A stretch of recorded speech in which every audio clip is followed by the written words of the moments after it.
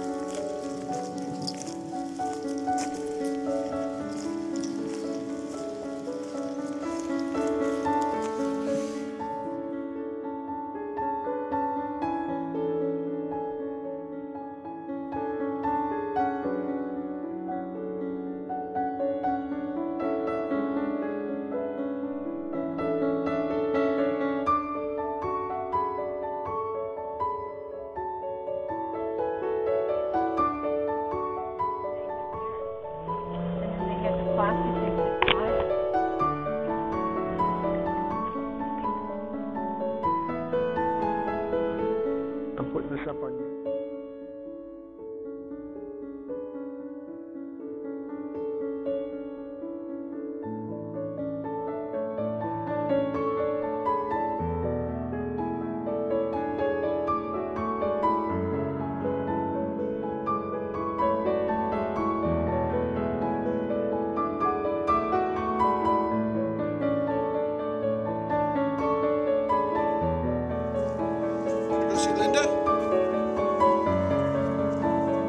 she